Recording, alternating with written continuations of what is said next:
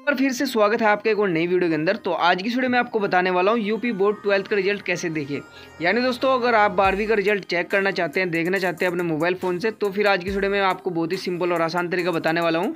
आज की वीडियो में आपको एक वेबसाइट के बारे में बताऊँगा दोस्तों, जिसकी मदद से आप अपना यूपी बोर्ड ट्वेल्थ का रिज़ल्ट चेक कर पाएँगे। ठीक है तो आपको क्या करना है, बस आपको इस वीडियो को ध्यान से देखना है, क्योंकि दोस्तों, ज़्यादातर लोग जो है गलत लिंक पर क्लिक करते हैं, जिसके कारण वो अपना यूपी बोर्ड ट्वेल्थ का रिज़ल्ट नहीं चेक कर पाते। सबसे पहले आप अपने फ़ोन में कोई भी एक ब्राउचर को ओपन कर लीजिए, जैसे कि हम यहाँ पर गूगल क्रॉम को ओपन करते हैं। गूगल क्रोम ओपन करेंगे तो यहाँ पर आपको सर्च का ऑप्शन मिलेगा। जैसे कि देख सकते हैं सर्च और टैब वेब एड्रेस आपको सिंपली इस ऑप्शन पर क्लिक करना है।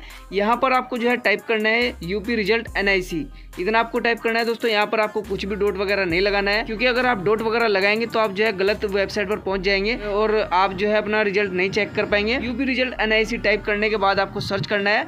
सर्च करेंगे तो यहाँ पर सबसे फ़र्स्ट में आपको वेबसाइट देखने को मिल जाएगी, उत्तर प्रदेश रिज़ल्ट आपको जो है इस वेबसाइट पर क्लिक करना है तो उत्तर प्रदेश रिज़ल्ट पर जैसे ही क्लिक करेंगे तो आपके सामने कुछ इस तरीके से इंटरफेस दिखाई देगा।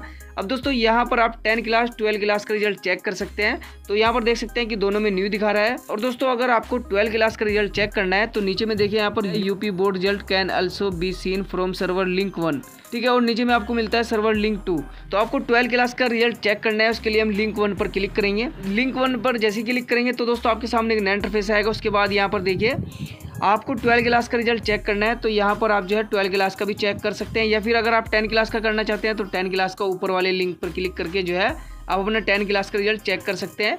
लेकिन हमें ट्वेल्व का करना है तो ट्वेल्व के लिए हम यहाँ पर नीचे वाले पर क्लिक करेंगे। तो जैसे आप नीचे वाले लिंक पर क्लिक करेंगे उसके बाद दोस्तों यहाँ पर देखिए आपके सामने कुछ इस तरीके से इंटरफेस दिखाई देगा। Please enter your roll number मतलब दोस्तों जो आपके क्लास का रोल नंबर है, वो आपको ऊपर वाले बॉक्स में डाल देना है। ठीक है? इंटर योर रोल नंबर तो आपको ऊपर वाले बॉक्स में अपना रोल नंबर डालना है। उसके बाद देखिए यहाँ पर enter your school code as given in admit card मतलब जो आपके एडमिट कार्ड में आपके स्कूल का कोड है, वो आपको यहाँ पर जो है नीचे वाले बॉक्स में डाल देना है। कोड डालने के बाद दोस्तों, अब देखिए यहाँ पर आपको एक कैप्चर देखने को मिलता है। ये कैप्चर दोस्तों आपको इस वाले बॉक्स में डाल देना है। यहाँ पर जो है कैप्चर डालने के बाद अब नीचे में आपको मिलता है सबमिट सबमिट पर जैसे ही क्लिक करेंगे तो आप अपना यूपी बोर्ड ट्वेल्थ का रिज़ल्ट चेक कर पाएँगे।